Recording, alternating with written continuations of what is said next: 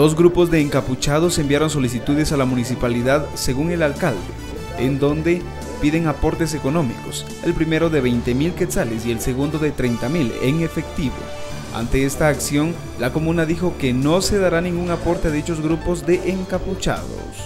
Que la municipalidad pues eh, está desfinanciada por una parte, por la otra, pues nosotros no podemos eh, tomar dinero del pueblo de Quetzaltenango para entregárselo a alguna entidad, el cual pues consideramos nosotros que eso es lo que deberíamos de hacer.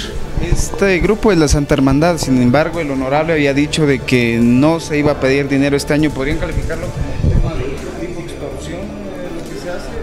Pues mire, ah, de, ambos, eh, de ambas organizaciones llegaron peticiones para que se otorgara este esta colaboración, como le llaman ellos, ya que año con año pues las anteriores autoridades lo han hecho. Sin embargo, nosotros no estamos facultados para hacerlo, eh, aunque tenemos nosotros como gobierno municipal eh, potestad de poder hacerlo, pues sin embargo creemos de que es un dinero que es del pueblo y por lo tanto pues no, no lo podemos dar.